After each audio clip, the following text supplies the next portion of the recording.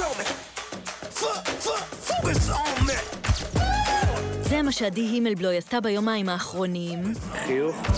אחרי חודשיים של הכנות ואימונים יומיים. הרבה זמן עבר מאז הרגעים ההם על המרפסת לפני שש שנים. בתחילת היום היה נדמה שהיא תעשה הכל כדי לדחות את הרגע שבו החלוק ירד, אימא'לה, זה במידה כל כך קטנה. 38. זה לא המידה שלי. אולי זה הנוכחות של צוות צילום על הראש, מעבר לגבולות האינטימיות של בין צלם לדוגמנית. אבל היי, הרי את הקטלוג הזה שהיא מצלמת כאן לחברת פמינה, במילא עוד רגע יפיצו למאות אלפי מתעניינות ומתעניינים. כך או כך, את הדגמים היותר נועזים שומרים לה אחד על אחד שלה בהמשך.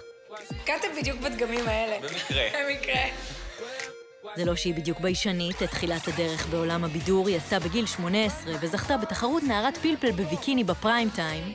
עדי הימלבלוי היא הנבחרת!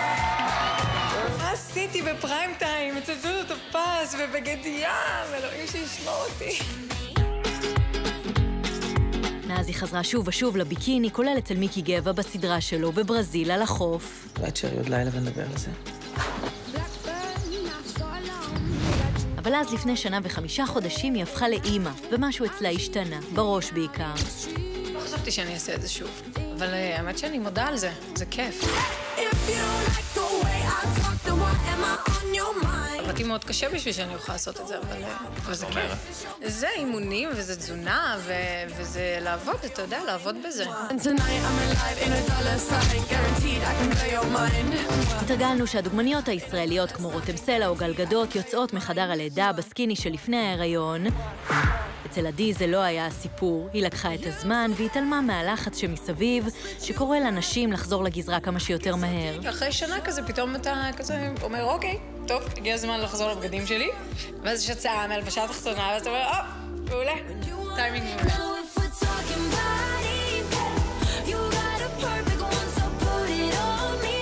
להקשות עוד יותר על העניינים, לנדב בעלה יש מסעדה בחולון שהמוטו שלה הוא אוכל מוגזם, המבורגרים נוטפי שומן, קינוחי ענק.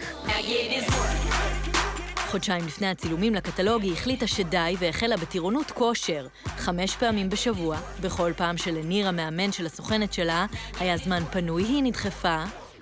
ובעיקר עדי הבינה שלבקר את בעלה בעבודה מתחיל להיות סיכון מקצועי, אז בשביל זה אנחנו פה.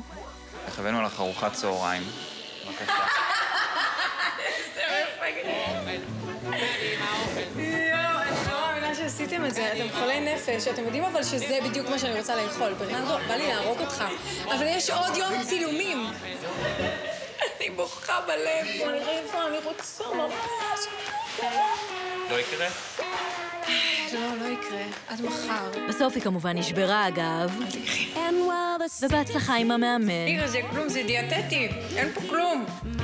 הכל אה, שוקולד רזה. ואם חשבתם שנשנוש הצ'יפסים הוא הצגה לכבוד המצלמה, אחרי שהצוות שלנו עוזב וחוזר לקחת משהו שנשכח על הסט, מתגלה שאוכל של הבעל לא זורקים. עדי, אנחנו אני סיימנו, לא את לא. חייבת להמשיך לאכול בשבילנו. תפסיק לתעד את זה אבל. רוצה לסבך אותי עם ניר? אני לא מבינה. לא, אני רק עזרתי להם, קחו.